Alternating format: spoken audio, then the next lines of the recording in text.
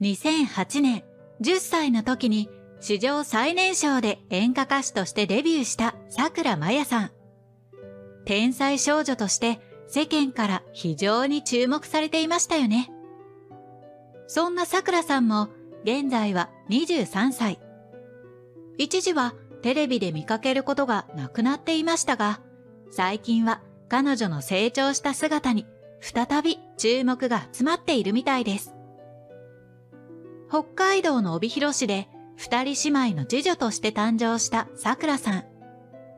実家は割烹宗野という老舗の割烹料理店で、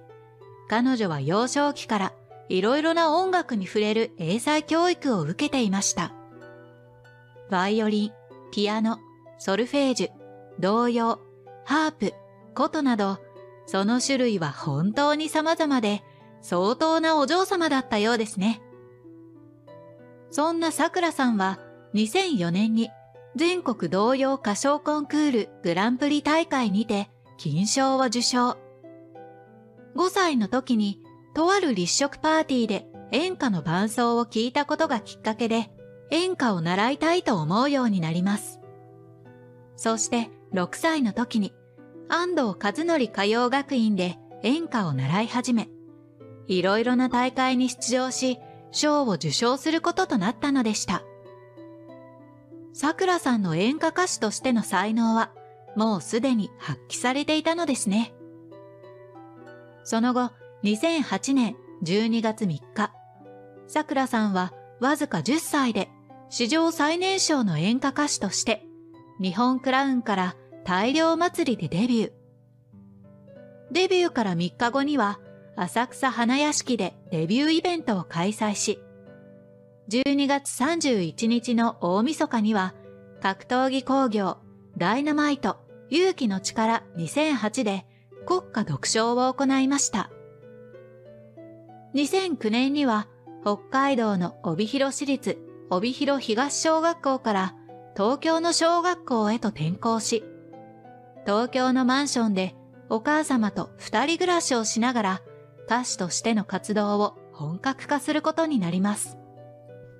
彼女は夏休みを返上してまでデビュー曲のキャンペーンのため全国ツアーを行うなど必死に歌手活動を頑張っていたようです。こうしてデビュー翌年の2009年には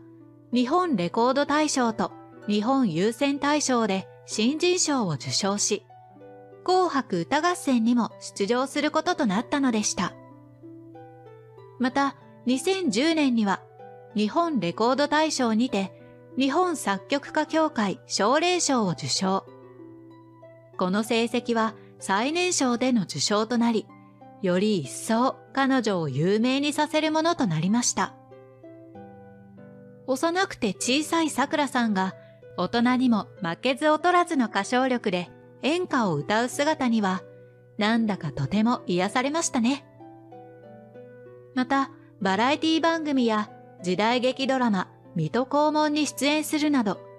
歌手としてだけでなく、子役としての活動も始めます。テレビ朝日系、関ジャニの手話系へとのカラオケ対決コーナーでは、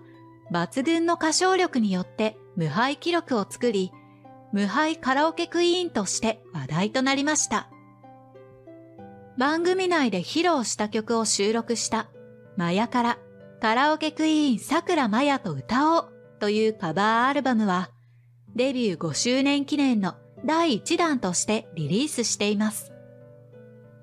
他にも2013年の7月にはエステーの消臭力の CM に出演し歌を披露。消臭力の CM でおなじみのミゲル君と二人で一緒に歌っていたのがとても印象に残っています。ちなみに二人はユニットを結成し CD デビューも果たしていますよ。また、桜さんは2015年8月にミュージカル赤毛のアンでアンの親友であるダイアナ・バリー役で出演をするなどミュージカルにも初挑戦。以降は2019年まで同じ舞台で毎年出演をしていました。小さくて可愛らしいイメージが強かったさくらさんですが、次第に大人へと変化をしていることがわかりますね。そんな彼女の私生活はというと、2014年4月に都内にある中高一貫の進学校に推薦入学しており、芸能活動と学業をしっかりと両立させていました。また、進学をした学校の偏差値も難関大学の進学率が高い高校みたいですが、そんな生活も長くは続かず、芸能活動が忙しくなり、欠席が多くなってしまったことが原因で、高校の卒業を断念。しかし、2016年の11月に、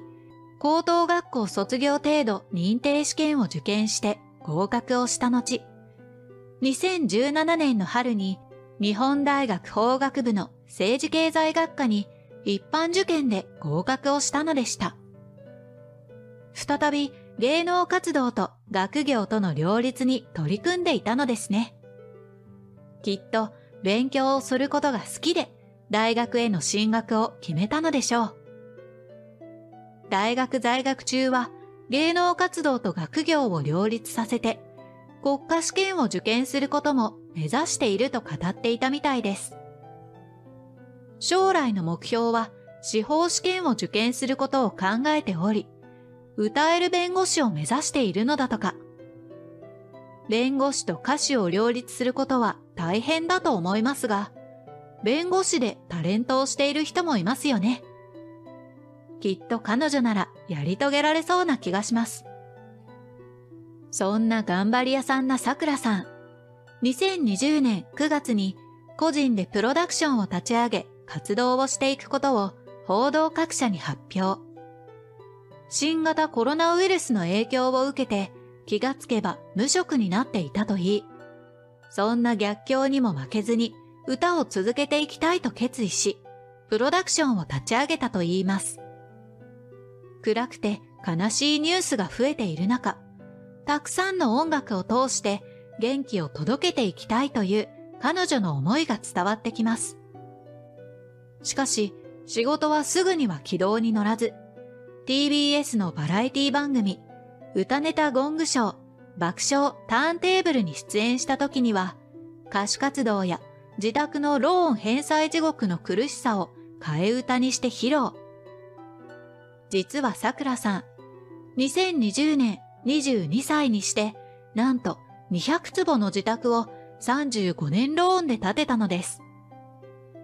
自宅は 9LDK で、飼っている犬が走り回れるくらいの広い庭もあるのだとか。無職からの多額のローンの返済には相当苦労するでしょうね。しかし、番組で替え歌を披露したことで、桜さんは SNS でのトレンド入りを果たし、ニュースサイトでも記事が掲載されるなど大反響を呼びました。大人気アニメ、鬼滅の刃の主題歌であるグレンゲを上手に替え歌にしていたのが印象に残っています。替え歌のタイトルも不安げとセンスのいいタイトルでしたね。桜さんは替え歌を歌うことには不安があったみたいですが、大反響を呼んだことで仕事が増え、現在も何とかやっていけているとのことです。